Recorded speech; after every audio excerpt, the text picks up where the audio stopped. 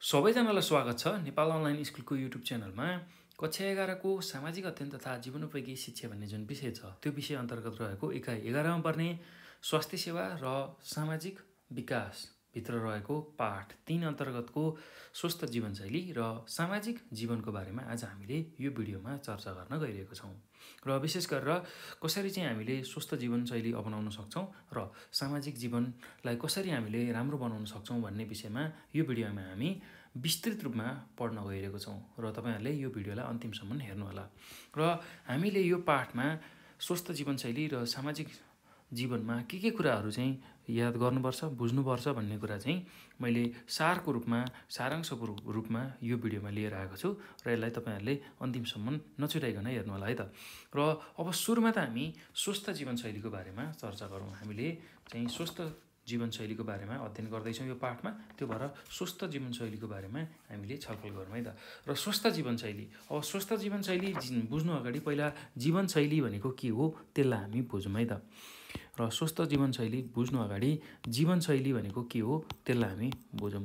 र जीवनशैली भनेको कुनै पनि व्यक्ति परिवार र समुदायको चाहिँ व्यक्तिले चाहिँ अथवा समुदायले जिउने जुन तरिका छ त्यसलाई हामी चाहिँ जीवनशैली भनेर भन्छौँ। कुनै पनि व्यक्तिको परिवारको र समुदायको चाहिँ जीवन जिउने चाहिँ जुन शैली छ तरिका छ हो त्यसलाई हामी जीवनशैली भनेर भन्छौँ।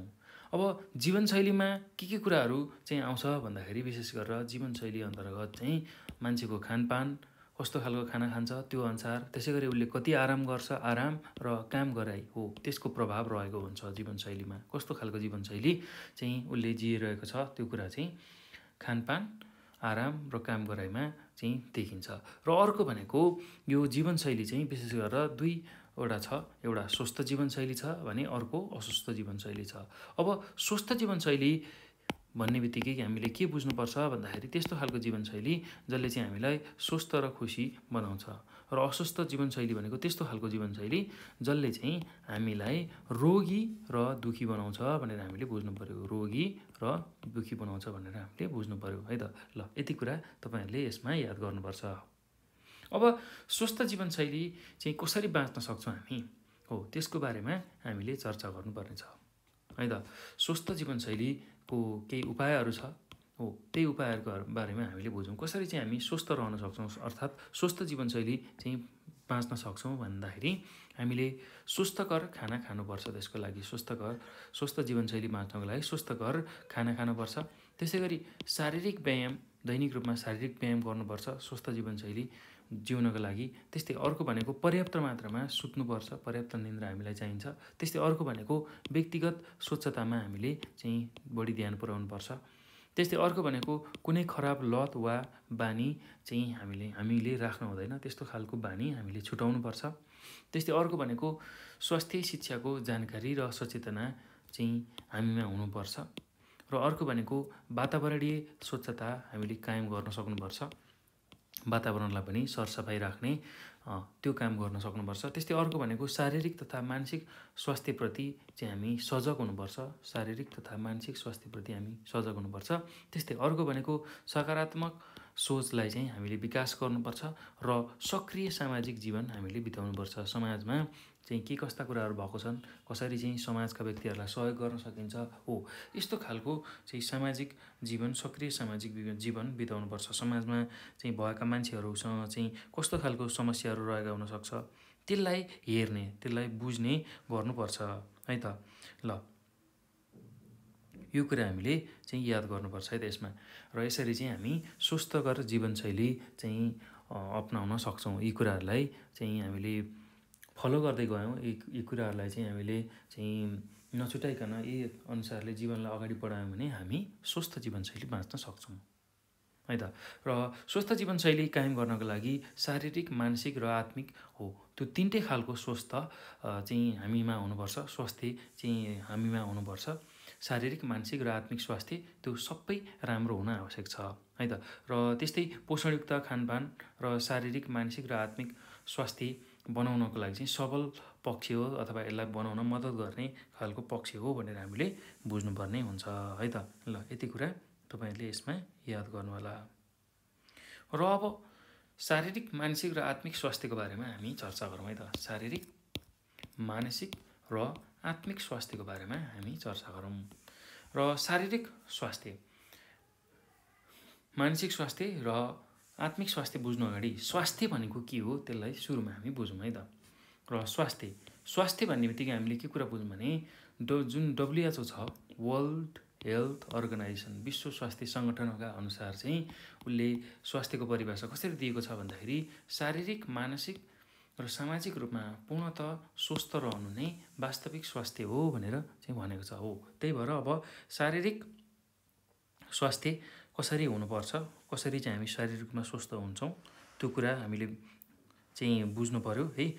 अनि त्यस्तै अर्को मानसिक स्वास्थ्य भनेको के हो त्यो हामी कसरी रहन सक्छौँ मानसिक रूपमा स्वस्थ कसरी रहन सक्छौँ र आत्मिक स्वास्थ्य भनेको के हो त्यसलाई हामीले कसरी हासिल गर्न सक्छौँ हो। त्यसकै बारेमा अझ अब हामीले चाहिँ छलफल गर्दैछौँ है त। त्यसकै बारेमा हामीले अब बुझ्दैछौँ। ल अब शारीरिक स्वास्थ्यको बारेमा चर्चा गरौँ। शारीरिक स्वास्थ्यको बारेमा चर्चा गरौँ। शारीरिक स्वास्थ्यको चाहिँ चर्चा गर्दाखेरि शरीरका सम्पूर्ण अङ्गहरूले सही रूपमा काम गर्नु र यी अङ्गहरूमा समस्या नआउनु नै शारीरिक स्वास्थ्य हो भनेर हामीले बुझ्नुपर्छ। हाम्रो शरीरका सम्पूर्ण अङ्गहरूले चाहिँ भित्री अङ्ग बाहिरी अङ्ग हो। त्यो अङ्गहरूले चाहिँ पूर्ण रूपमा पूर्ण रूपमा काम गर्नु सही रूपमा काम गर्नुलाई चाहिँ हामी शारीरिक स्वास्थ्य भनेर भन्छौँ भने अर्को कुरा के छ भन्दाखेरि हाम्रो अङ्गहरूमा चाहिँ कुनै पनि समस्या नआउनु त्यसलाई पनि हामी चाहिँ शारीरिक स्वास्थ्य भनेर भन्छौँ है त? र यसरी सबै अङ्गहरूले काम गरेर निरोगिताको जुन अवस्था छ त्यसलाई चाहिँ हामी शारीरिक स्वस्थता भनेर भन्छौँ अथवा शारीरिक स्वास्थ्य भनेर भन्छौँ है त? ल अब यो शारीरिक स्वास्थ्य राम्रो भएमा व्यक्तिको चाहिँ व्यक्तित्वको विकास हुन्छ व्यक्तिको पनि विकास हुन्छ र काम गर्ने उत्साह जाँगर बल उमा आउँछ र उसको कार्यदक्षता पनि वृद्धि हुन्छ भनेर हामीले लेख्न सक्छौँ है त? ल यति कुरा हामीले यसमा बुझ्नुपर्छ। र अर्को कुरा अब यो शारीरिक स्वास्थ्यलाई चाहिँ हामीले कसरी कायम गर्न सक्छौँ त? शारीरिक स्वास्थ्यलाई हामीले कसरी कायम गर्न राख्न सक्छौँ भन्दाखेरि समय समयमा स्वास्थ्य जाँच गरिरहने त्यसै गरी योग तथा व्यायामहरू गर्ने त्यस्तै स्वस्थ जीवनशैली अपनाउने सन्तुलित खानपानमा ध्यान दिने आराम गर्ने हो। यस्ता खालका कुराहरू चाहिँ गर्न सकिन्छ है त शारीरिक स्वास्थ्यलाई राम्रो राख्नको लागि। अब जाउँ मानसिक स्वास्थ्यमा। मानसिक स्वास्थ्यमा चाहिँ हामीले के कुरा बुझ्नुपर्छ भन्दाखेरि मानसिक स्वास्थ्य भन्ने बित्तिकै कुनै पनि दबाब तनाव र मानसिक रोग नभएको जुन अवस्था छ त्यसलाई हामी मानसिक स्वास्थ्य भनेर भन्छौँ। है त यो कुरा हामीले याद गर्नुपर्छ। अब मानसिक स्वास्थ्य चाहिँ विशेष गरेर मन र मस्तिष्कसँग सम्बन्धित छ। मन र मस्तिष्कसँग यो सम्बन्धित छ भनेर हामीले बुझ्नुपर्छ। र मानसिक स्वास्थ्यमा चाहिँ विशेष गरेर हाम्रो भावनात्मक मनोवैज्ञानिक र सामाजिक कल्याण समावेश रहेको छ। त्यस्तै अर्को के कुरा बुझ्नुपर्छ भने चाहिँ यो मानसिक स्वास्थ्यले चाहिँ विशेष गरेर हाम्रो सोचाइ काम गराइ र सृजनशीलतामा चाहिँ प्रभाव पार्ने गर्दछ। र मानसिक स्वास्थ्य राम्रो हुँदा तनाव व्यवस्थापन गर्नु र अरूसँगको सम्बन्ध सुधार बनाउनु र सही निर्णयमा चाहिँ हामी पुग्न सक्छौँ है त? त्यही भएर अब यो मानसिक स्वास्थ्यलाई कायम गर्न चाहिँ हामीले के गर्न सक्छौँ भन्दाखेरि हामीले मानसिक स्वास्थ्यलाई राम्रो बनाउनु कायम गर्नको लागि जहिले पनि तनावबाट बस्ने किनभने मानसिक स्वास्थ्य बिगार्ने सबैभन्दा खराब तत्त्व भनेको यही तनाव हो। हो त्यही भएर तनावबाट हामी बस्ने सकभर तनाव उत्पन्न हुन नदिने।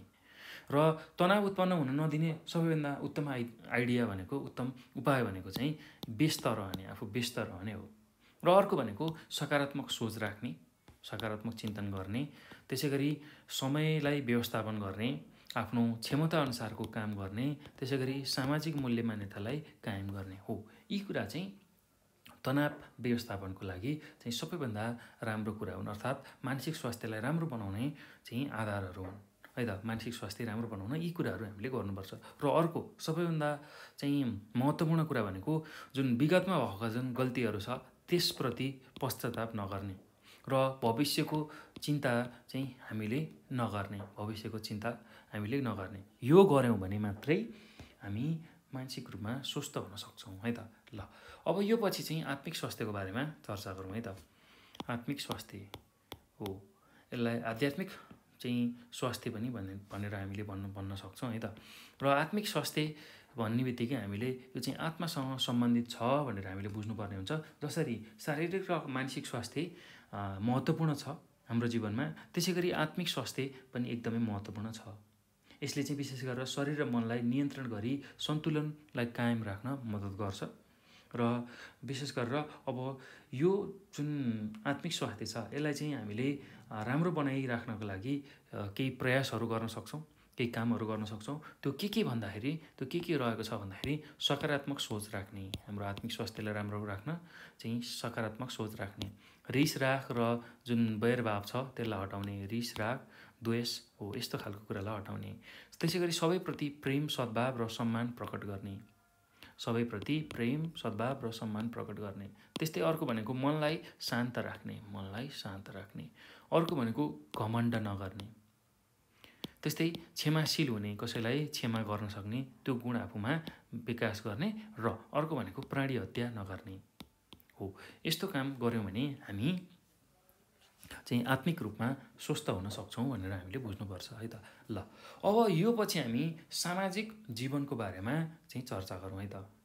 र सामाजिक जीवनको बारेमा हामीले यो पाठमा बुझ्नुपर्ने छ र सामाजिक जीवन अब यसमा हामीले के के कुराहरू जान्नुपर्छ भन्दाखेरि सामाजिक जीवन एक व्यक्तिको समयको चाहिँ यस्तो अंश हो जुन अरूसँग उत्पादनशील काममा काममा लगानी गर्न सकिन्छ अथवा काम गर्नको लागि खर्च गर्न सकिन्छ।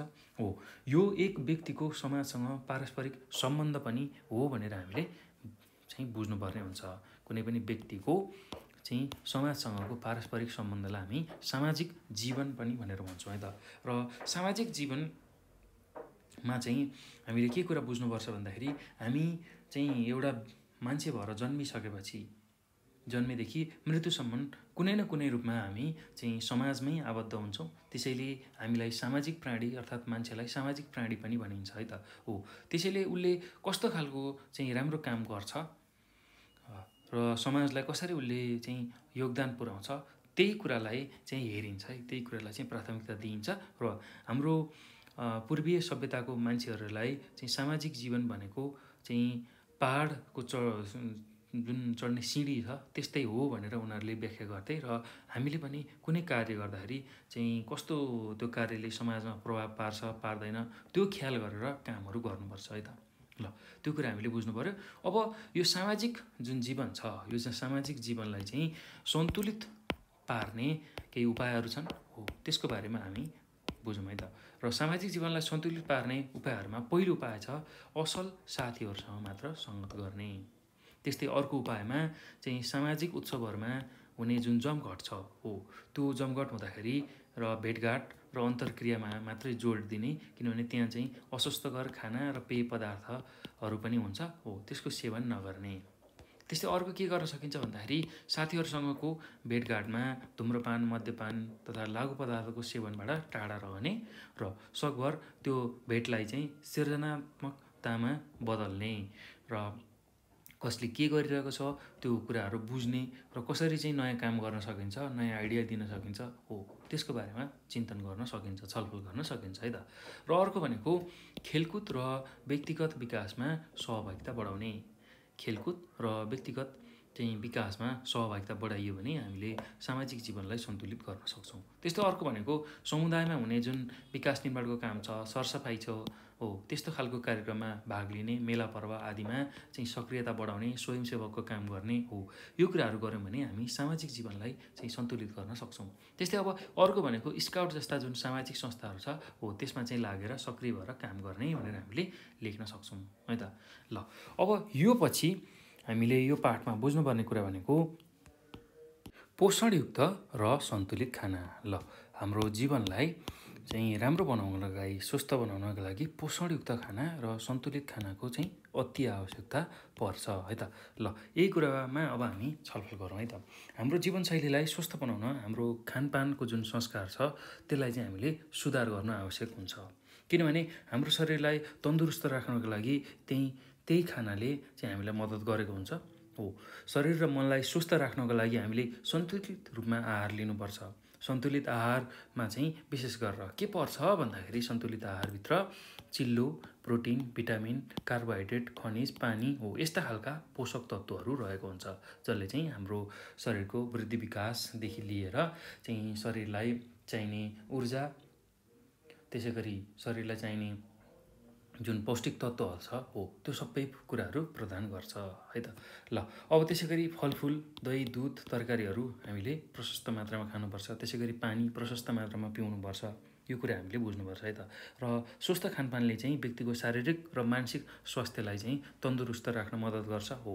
त्यही भएर हामीले स्वस्थ खानेकुराहरूलाई चाहिँ आवश्यक पर्ने मात्रामा सन्तुलित मात्रामा चाहिँ हामीले खानुपर्छ। है त? र त्यसै गरी प्रशोधन गरिएका जुन खानाहरू छ बजारिया खानाहरू र पेय पदार्थहरू त्यो सकभर नखाँदा राम्रो किनभने चाहिँ त्यो शरीरलाई हानि पुर्याउने खालको खानेकुरा हुन्। जुन चाहिँ हामीले बाहिर बजारमा खान्छौँ त्यसले चाहिँ हाम्रो शरीरलाई नाश गरिरहेको हुन्छ। है त? ल यो कुरा बुझ्नु पऱ्यो त्यस्तै अर्को भनेको अब मनको सजगता र सतर्कता सतर्कतामा चाहिँ हामीले खानाको मात्रा त्यसै गरी त्यसको प्रकृति त्यस्तै गरी शैली छनौट हामीले आदि गर्नुपर्छ अथवा मनको इच्छा र शरीरको आवश्यकता हेरेर चाहिँ हामीले भोजन गर्नुपर्छ खाना खानुपर्छ सन्तुलित रूपमा पोषणयुक्त खाना खानुपर्छ भनेर हामीले बुझ्नुपर्छ है त। अब खाना खाने केही सही तरिकाहरू छन् त्यसको बारेमा पनि हामीले बुझ्नु पर्ने हुन्छ है त यो पाठमा। र खाना खाँदाखेरि मान्छे प्रायः मान्छेले खाना खाँदाखेरि यो कुराहरू विचार गरेको हुँदैनन्। र तपाईँहरूलाई आज मैले बताउँदैछु है त। हामीले खाना खाँदाखेरि चाहिँ विशेष गरेर कसरी खानुपर्छ भन्दाखेरि एकदमै बढी त्यसलाई चपाएर एउटै गाँसलाई पनि त्यसलाई त्यहीँ तिस चालिस पटक चाहिँ बढीभन्दा बढी चपाएर एकदमै मसिनो बनाएर खाना खानुपर्छ है। र हामीले दैनिक रूपमा पानी प्रशस्त पिउनुपर्छ र सकभर पानी चाहिँ हामीले खाना खानुभन्दा एक घन्टा अगाडि सम्म नखाने एक घन्टा अगाडि नखाने र एक घन्टा पछि मात्रै पानी पिउने त्यस्तो खालको बानी विकास गर्नुपर्छ। खाना खानुभन्दा एक घन्टा अगाडि पछि खाना नखाउन्जेलसम्म भइहाल्यो। त्यसपछि खाना खाइसकेपछि पनि एक घन्टा पछिसम्म पानी नखाने। त्यो कुरा हामीले बुझ्नुपर्छ है त। त्यसरी चाहिँ हामीले चाहिँ खाना र पानीको मात्रा मिलाउनुपर्छ र पानी सकेसम्म प्रशस्त पिउनुपर्छ है त। र अर्को भनेको सन्तुलित भोजन चाहिँ एउटै समयमा पटक पटक चाहिँ हामीले खानुपर्छ। सन्तुलित भोजनलाई चाहिँ पटक पटक चाहिँ एउटै समय मिलाएर चाहिँ हामीले खानुपर्छ। हरेक दिन त्यसरी चाहिँ खाना खानुपर्छ। र अर्को कुरा भनेको जहिले पनि हामीले जुन खानाहरू खान्छौँ र त्यो खाना बनाउने जो व्यक्ति छ त्यो सधैँ खुसी भएर बनाउनुपर्छ र त्यो बनेको खानालाई पनि हामीले चाहिँ खुसी भएर खानुपर्छ। हो यसरी खायौँ भने हामी चाहिँ स्वस्थ जीवनशैली बाँच्न सक्छौँ है त? ल यति कुरा चाहिँ तपाईँहरूले यो पाठमा चाहिँ बुझ्नुपर्ने कुराहरू हो। र विशेष गरेर यो पाठमा तपाईँहरूले के के कुराहरू जान्नुपर्छ भन्दाखेरि स्वस्थ जीवनशैली भनेको के हो? यसलाई कसरी चाहिँ हामी अपनाउन सक्छौँ? स्वस्थ जीवनशैलीका उपायहरू के के हुन्? त्यस्तै शारीरिक मानसिक र आत्मिक स्वास्थ्य भनेको के हो? र त्यसलाई हामीले कसरी चाहिँ आफ्नो जीवनमा पाउन सक्छौँ? कसरी चाहिँ हामीले शारीरिक स्वास्थ्य मानसिक स्वास्थ्य र आत्मिक स्वास्थ्य चाहिँ प्राप्त गर्न सक्छौँ भन्ने कुरा जान्न पऱ्यो र त्यसै गरी सामाजिक जीवन भनेको के हो? त्यसलाई सन्तुलित गर्न कस्तो खालका उपायहरू अप्नाउन सकिन्छ? त्यसै गरी पोषणयुक्त र सन्तुलित खाना भनेको के हो? त्यो चाहिँ कसरी हामीले जीवन दैनिक जीवनमा चाहिँ त्यसको प्रयोग गर्न सक्छौँ? त्यो कुरा बुझ्नु पऱ्यो र अर्को भनेको चाहिँ खाने खाने जुन तरिकाहरू छ खाना खाने तरिकाहरू छ त्यसको बारेमा पनि हामीले बुझ्नु पऱ्यो है त। त्यति कुराहरू हामीले यसमा यो पाठमा चाहिँ जान्नुपर्ने मूल कुरा हुन् है त। र यही कुरालाई मैले सारको रूपमा तपाईँहरूमा प्रस्तुत गरेँ। अब यो पछि चाहिँ